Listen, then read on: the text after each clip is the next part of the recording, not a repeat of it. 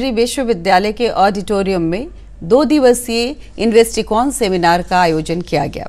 Seminar में पूरे देश से प्रतिनिधि शामिल हुए। सेमिनार में चिकित्सा क्षेत्र में पैथोलॉजी, रेडियोलॉजी के महत्व, जाँच की गुणवत्ता सहित अन्य विषयों पर चर्चा की गई।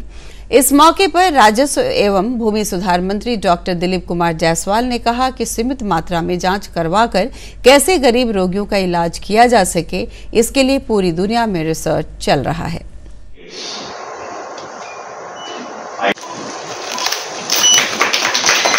देश के बड़े बड़े institute PGI Chandigarh AIIMS IGIMS ऐसे इंस्टीट्यूशन से यहाँ पर, यहाँ के जो भी चार डिपार्टमेंट के डॉक्टर हैं, उनके बीच पूरे देश और दुनिया में इन्वेस्टिगेशन जिसके सहारे डॉक्टर इलाज करते हैं और इलाज का पैमाना भी इन्वेस्टिगेशन से ही तय किया जाता है।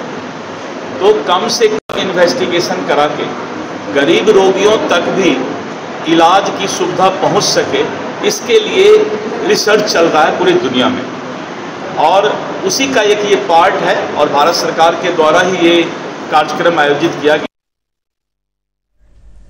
पश्चिम चंपारण के बघा